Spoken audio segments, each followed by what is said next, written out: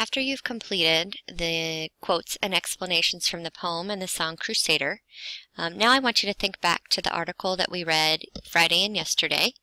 And we were reading about Pope Urban II and his call for the Crusades. If you don't have your example uh, of your, your article, you can always go back here and click where it says the Crusades and it will open the document for you. And I know I have this window pretty small here, but um, you would be able to see the entire document. But for you're going to need that as you go through this next part. So the directions say to support the argument below using evidence from the article that we read on oh, last Friday, it should say. This is a good way for me to check my typos. Friday and Monday which was yesterday. Make sure you add a transition. We're looking at writing.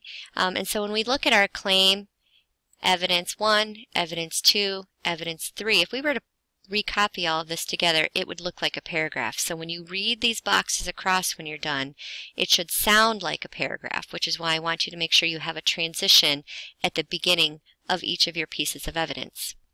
So the claim that I'm giving you is that Pope Urban II contributed a conflict, contributed to a conflict that still affects the Middle East today when ordering the Crusades and should be viewed as a villain.